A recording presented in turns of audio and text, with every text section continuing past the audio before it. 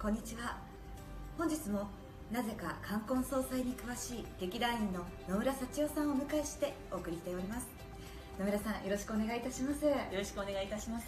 第58回となりましたこの番組野村さんの周りに何か反響などございましたでしょうか？いえ特にはありません。そうですか。はいでは早速最初のコーナーに参りたいと思います。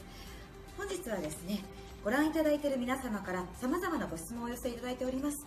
そちらにお答えいただこうかと思います、はい、ではまず1つ目の質問です。秋田県在住30代男性からの質問です。祖父が亡くなり棺に思い出の品が入れられると知りました。祖父は釣りが趣味だったので釣り竿を入れてあげたいのですが母から入れられないと聞きました。他にも入れられないものはありますか？副葬品についての質問ですね野村さんまずなぜ釣り竿が入れられないのでしょうか？ええまず大前提なんですけれども現在の日本ではお棺は仮装をするというのが原則となっています。えですので簡単に言えば燃えないものは入れられないということですね、えー、ご質問にありました釣り竿はおそらくカーボンでできているのでしょう。ですので入れられないというふうに伝えられたんだと思います。また今テロップでですねいろんな入れられないものなど入っていると思うんですけれどもこういったものをご本人と一緒に送りたいという場合にはどうしたらいいでしょうかね？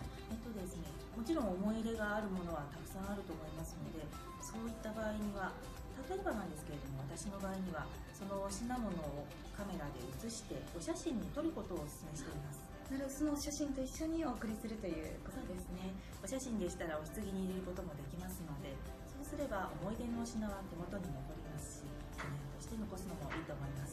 はいありがとうございます。では次の質問いきたいと思います、はい、では次は東京都在住20歳女性の方の質問です。母から服装を渡されたのですが包み方が合っているか不安です。包み方を教えてくださいとのことです。ではこちらは野村さんに実践していただきたいと思います。それでは野村さんお願いいたします。はい